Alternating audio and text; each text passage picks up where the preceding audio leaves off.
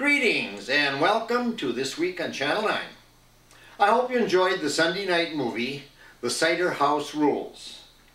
On Monday, Wednesday, and Friday at 9.45, the RVM Recreation Wellness Program will sponsor a 25-minute fitness program on Channel 9.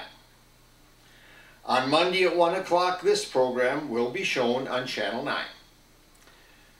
Then at 7 o'clock on Monday, you can see Clueless on Channel 9 if you missed it Saturday evening in the auditorium.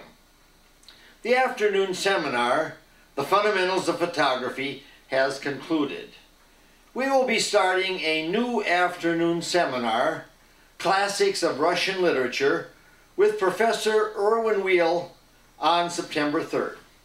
You can find a very interesting 69 minute interview with Professor Weil by going to YouTube, clicking on search, and entering Irwin Weil on Dostoevsky.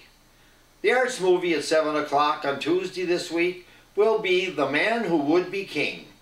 Legendary director John Huston adapts Rudyard Kipling's short story about Daniel Dravot, played by Sean Connery, and Peachy Carnehan, played by Michael Caine, two bored British soldiers stationed in India who traveled to a mountainous Middle Eastern kingdom in search of riches and power.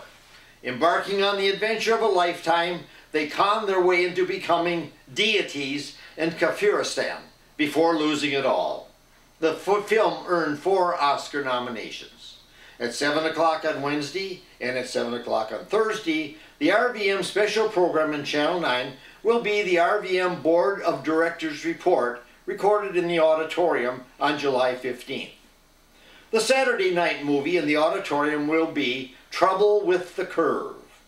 Slowed by age and failing eyesight, crack baseball scout Gus Lobel, played by Clint Eastwood, takes his grown daughter, played by Amy Adams, along as he checks out the final prospect of his career.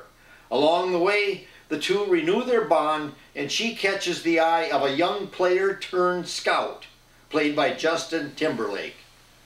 And finally, the Saturday night movie at 6.30 on Channel 9 will be Il Postino, the postman.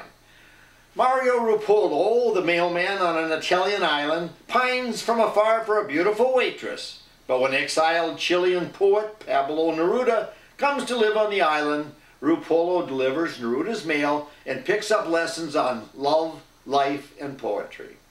I'm always amazed at the lovely floral displays facing the elevators on the main floor of the manor, created by members of the Flower Committee.